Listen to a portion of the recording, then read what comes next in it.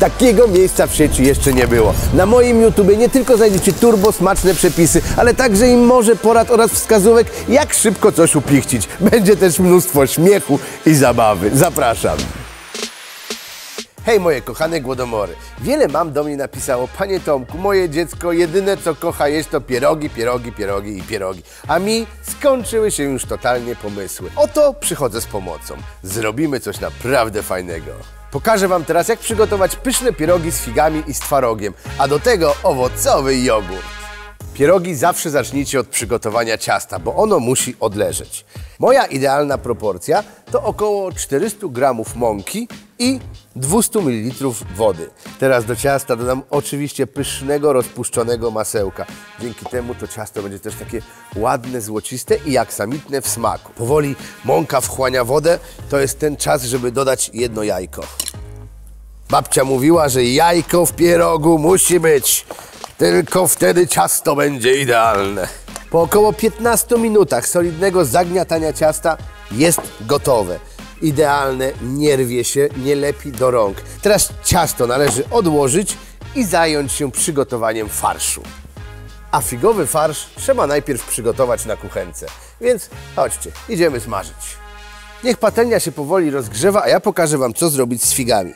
Odkrajacie ten koniec, po czym figę przekrajacie o właśnie tak na cztery części. Gdy wszystkie figi umieścicie na patelni, to polejcie je obficie miodem.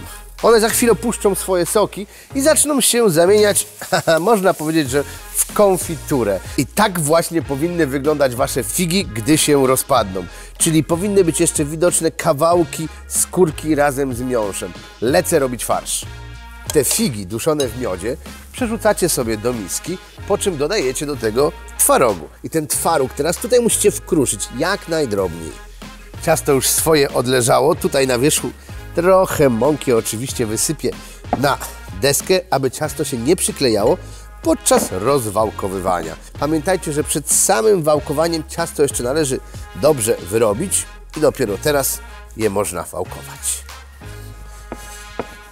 Idealna grubość ciasta i idealna elastyczność. Mogę zająć się wycinaniem teraz kółeczek. Chwila relaksu, w której zamykam się w kuchni na klucz, aby nie wchodziły dzieci oraz y, niepożądane osoby. I w tym błogim nastroju zaczynam sobie zwijać pierożki. I przypuszczam, że Wy też tak macie.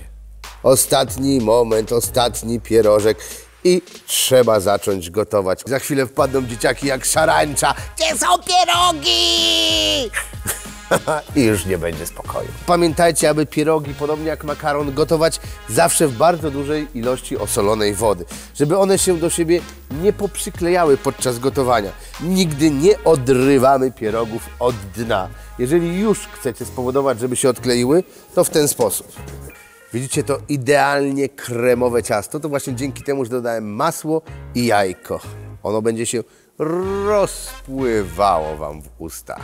Pokażę Wam teraz, jak przygotować błyskawiczny sos jogurtowy ze świeżymi owocami. Jeżyny pokrójcie zawsze na jak najmniejsze kawałki, żeby były wyczuwalne w całym sosie. I jeszcze kilka malin, z którymi dokładnie robię to samo. Pokrojone owoce teraz należy dorzucić do jogurtu.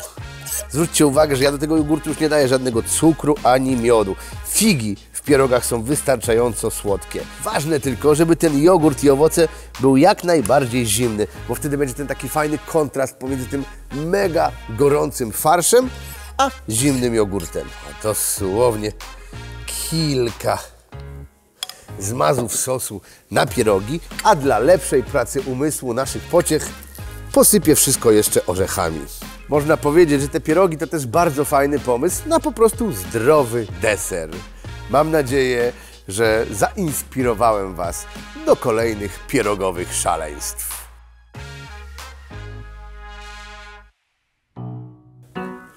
Ta-la-la.